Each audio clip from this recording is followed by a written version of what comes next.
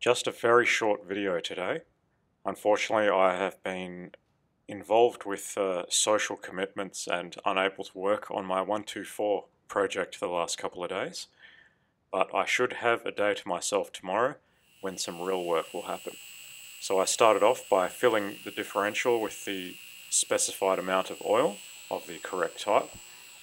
And for the sake of it, I just tested out my ABS sensor uh, just to make sure that's operational and that I didn't break any of the wiring while changing over the outside insulation.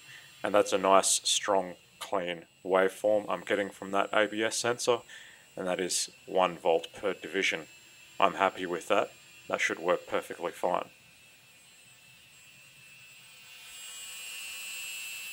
There's no abnormal noises or anything like that, but of course it's not driving a car around, it's not under load. The only noises are from the coupling of the impact gun. I didn't allow the impact gun to do its impacting, I just slowly revved it up to enable it to turn the differential like a drill.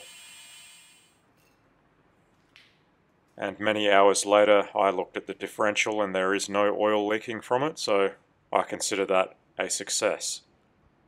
While I had the chance, I did pull the bushings out of that subframe my method is probably considered antisocial and against environmental concerns for this day and age.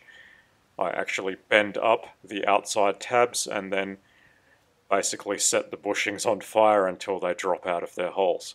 It produces a lot of smoke and smell, but it works. I don't have the tool to get them out otherwise.